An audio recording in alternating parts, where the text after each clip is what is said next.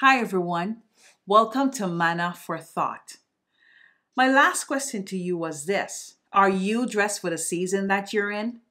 Now, I want to talk about that dress attire and what it looks like. So, let's see what Paul says in Ephesians 6, starting at verse 10. Finally, brethren, be strong in the Lord and in the power of his might. Put on the whole armor of God that he may be able to stand against the wiles of the devil.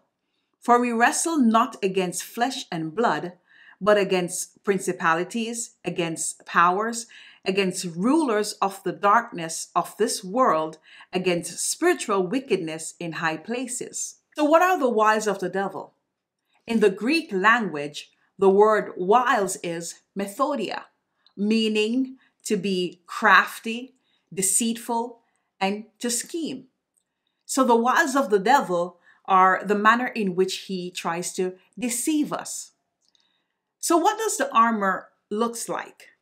Paul depicts the armor of God in the natural sense as the attire of a Roman soldier. So let's look at the different pieces of the armor in the spiritual sense. We need to gird our loins with the belt of truth. Whose truth?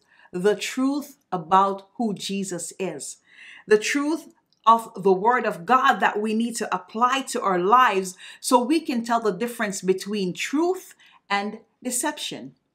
We need to put on our feet the gospel of peace. What is the gospel of peace? The gospel is the good news that the Messiah is coming back. And with that knowledge, we ought to have peace.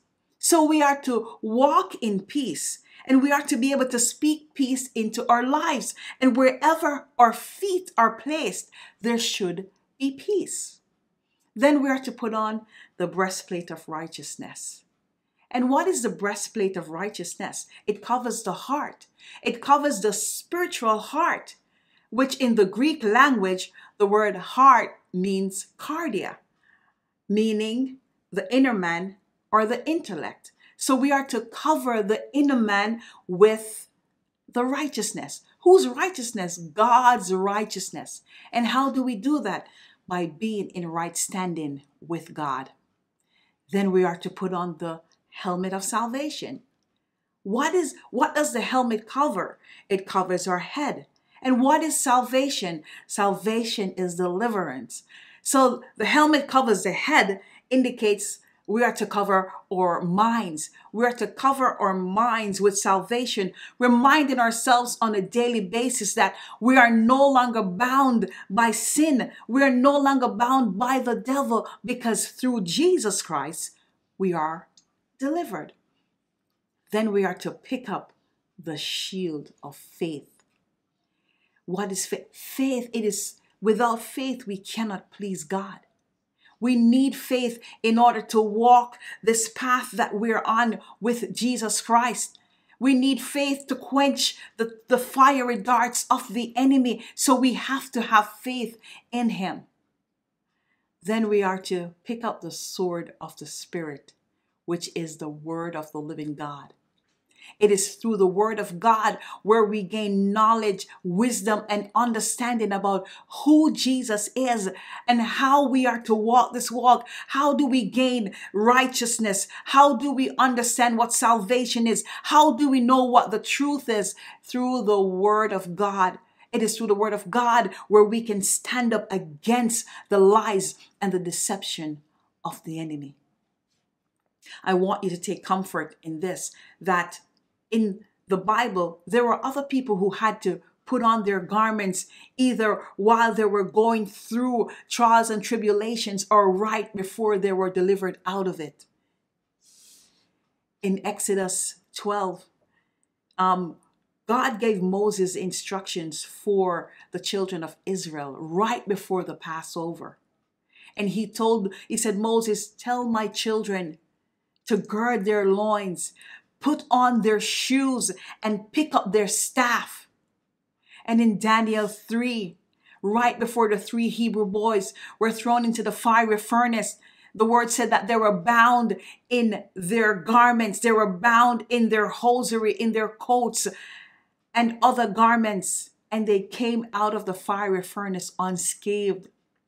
And in the New Testament, after Peter was imprisoned and he was about to be beheaded, in the night the angel of the Lord came to Peter. And this is what the angel said to him Gird thy loin, or gird thyself, and bind on thy sandals. And so he did. And he saith unto him, Cast thy garment about thee and follow me. God wants us to put on her entire, the whole armor and follow him. Follow him so that he can lead us in the right path. I want us to recognize that the two pieces of garments that covers the inner man, which is the breastplate of righteousness and the helmet of salvation. We are to take note of those because the mind is the battleground for the enemy. So we need the armor of God. We need to remind ourselves every day about God's righteousness, about salvation. So I want to encourage you that whatever season you are in, put on the whole armor of God. But how do you do that? Through prayer, through prayer and supplication, through a, a relationship with God.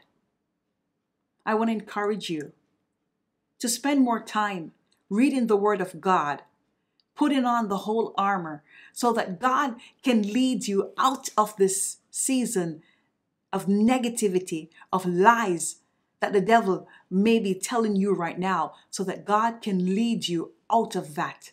The same way he delivered the children of Israel, the same way he delivered the three Hebrew boys, the same way he delivered Peter, he can deliver you.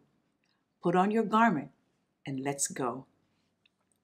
I am Allison Cornelius, and thank you for joining me on Manna for Thought.